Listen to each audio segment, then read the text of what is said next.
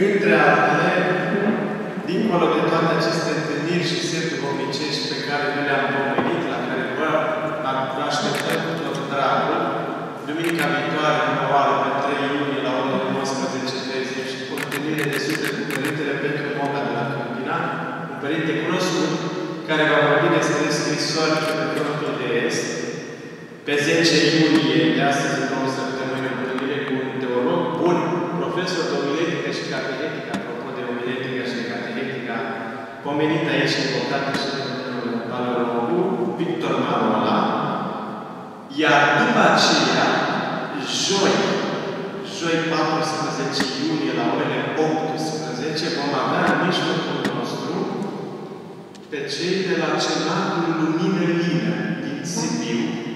Cenacul fondat și condus de Părintele Cătălin Dumitreanu, în cadrul căruia cântă și Părintele Doru Gheaja de la Alba Iulia și care vor veni și vor susține aici un spectacol, un recital deosebit, adecvat anului centenar, alcătuit din poezii și din cântări patriotice, dar cântări patriotice serioase, autentice.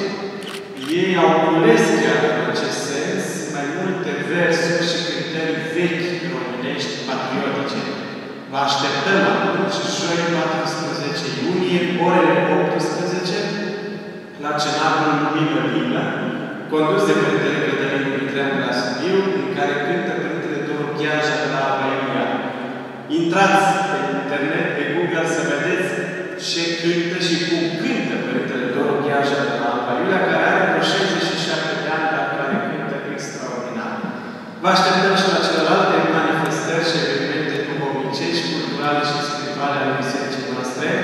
Facem rugăciunea, obișnuita fotografie de grup, după care mai puteți sta două minute cine vreți, care vreți să salutați pe domnul Paleologul, după care vă dorim să aveți parte și mâine de un tras de binecuvântat, închinat Sfântii Trăim, și de o săptămână binecuvântată. Facem rugăciune. Cuvine se cu adevărat să te fericim pe tine, născătoare, Dumnezeu, cea pururea fericită și prea vinovată și Maica Dumnezeului nostru. Ceea ce ești mai cinstită decât cherubimii și mai merită fără neasemnare decât serafimii, care a fără stricăciune de Dumnezeu cuvântul ai născut, pe tine cea cu adevărat născătoare de Dumnezeu te mărim. Slavă Tatălui și Domnului și Dumnezeu iubire de oameni totdeauna acum și pururea și vecii vecilor. Amin. Amin. Poftiți la fotografia de grup. Vă mulțumim din suflet și vă mai așteptăm.